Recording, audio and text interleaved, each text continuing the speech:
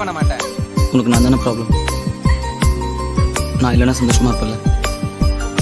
Okay இனிமே நான் உன்னை டிஸ்டர்ப் பண்ண மாட்டேன். நான் போயிடுறேன். இதுக்கப்புறம் லைஃப்பில் முன்னாடி வர மாட்டேன்.